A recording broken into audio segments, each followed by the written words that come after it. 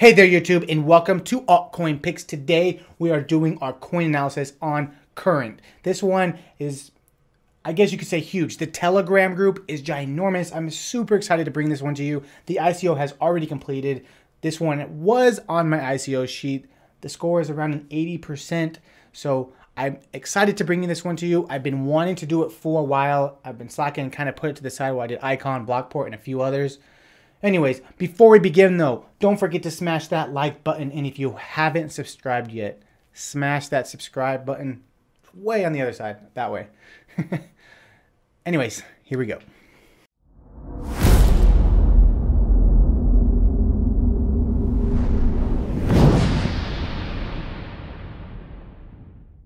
So of course, what will my current analysis consist of? We will talk about what is current, the CRNC purpose, which is their token, the team and advisors, the market cap, the competition and their partners, the prototype, the roadmap, and then we will end it all with a pros and cons section. I decided to take out the star section because I had a few people thinking that I was shilling ICOs based off of that score.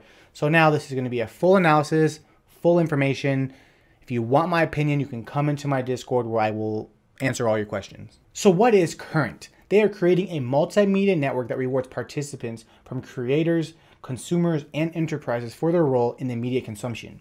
The project is divided into three different aspects the platform, the protocol, and the token. The platform allows users to navigate, search, and discover content by compiling media from sites such as YouTube, Spotify, SoundCloud, Twitter, and Facebook. As users consume media, an algorithm develops a preference and forms an identity based on their data creating the most comprehensive profile, offering better content, rewarding creators for their contributions, and providing a valuable commodity as data for third party sources. So let's check out the coin's purpose. The CRNC token fuels the currency platform. The currency's protocol rewards a portion of each token mined to shareholders, whether they are consumer, creator, curators, referrers, or part of the growth pool. The coin will be used in their marketplace to buy digital and physical goods such as premium subscriptions to other platforms, tickets to shows, and so much more. Advertisers will have to purchase this token to buy ad space on the platform. So of course, let's get to the team. Let me move myself over. The team has three stars, three superstars, and one master star. And as you can see, it's not the most amazing team, but definitely not a bad team. It's also fairly big, which is always nice to see when the team isn't superstar studded like a Wanchain or an Icon. So let's talk about the top three members from this team. First, I'm going to go with Trey Ditto. So I'm not sure of his position with the team, but he gets his superstar because he's had several top positions such as vice president and managing director at a few fairly big companies.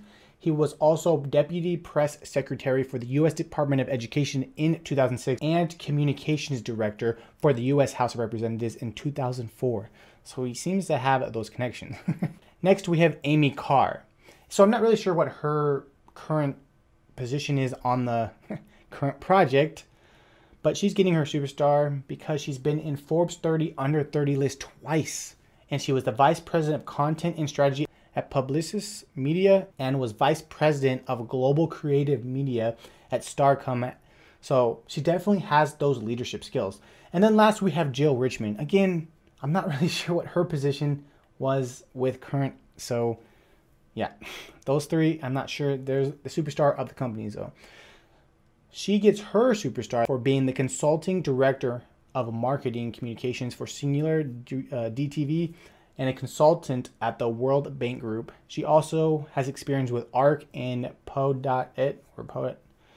And she also writes for Forbes. So again, like I said, as you can see, their team isn't the best, but they might be making it up with their advisors. So for their advisors, again, I'm just going to pick the best one for the sake of time. I don't want to bore you too much. But they do have three stars, four superstars, and seven master stars with, in my opinion, the best, of course, being Mark Cuban. And him by himself makes this a super popular idea.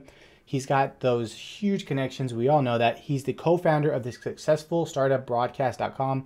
He's also known for his being the zealous owner of the Dallas Mavericks. He's also the star of the TV show Shark Tank, which is pretty much people trying to get funds for startups. Obviously, he's one of the most influential people out there and can really push a product to the next level just because of his name and his connections. So next, let's look at their market cap. So for their ICO, they had a 36 million hard cap, 350 million circulating supply, 1 billion total supply. It was 24 cents per token at ICO. And again, their ICO is already finished, so if you do want this token, you got to wait till the exchange. So now for their competition and partners. So for competition, they have Kin, which is a messaging platform where Kin tokens are used to reward users for contributing to the ecosystem. The token can be used to reward creators, access premium content in the marketplace, and etc. Then we have BAT, which was created to reward users for their advertisement consumption while using the Brave internet browser. While BAT main focus is to reward users for users' attention, Current is directed to multimedia consumption. Next, we have Steem, and I honestly don't like Steem at all, but it's an incentivized social media platform where you get awarded tokens from upvote input from viewers. And that's what I don't like about it. There's a lot of people that take advantage of this, and in my opinion, it's just not a good platform in general. Then we have Stream, which this one is an ICO that's in pre-sale, promises to link content and audiences across platforms. And then our last but not least, we have Jet 8. It's a decentralized mobile engagement network connecting influencers, audiences, and brands through the value of social currency. So that was their competition. I'm sure there's so much more, but those are the main ones that I believe were worth mentioning. Next, we have their partners. So they have many partners, but the most notable ones are DLA Piper, which is a global law firm. They got Audios, it's an audio and video stream recorder. Then we have Bancor, it's a solution to cryptocurrency liquidity.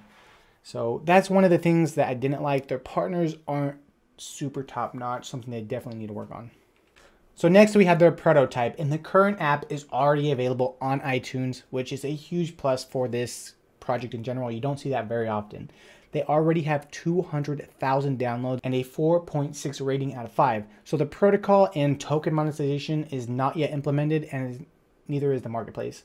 Also, they don't have it for Android yet, but in the roadmap, it shows that it will be super soon. I have a few images here that you can look at from the iTunes store and from their website. I don't have any type of Apple or iTunes device, so I can't get on and download the actual app and show you that.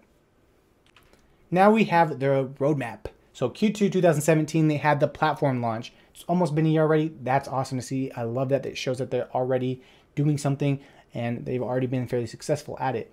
Next, Q1 2018, we got the initial protocol development. Then Q2, we got the wallet generation. Then version 1.3 update, improving performance and scalability. Then video integration of Netflix, Hulu, and you'll be able to record videos offline.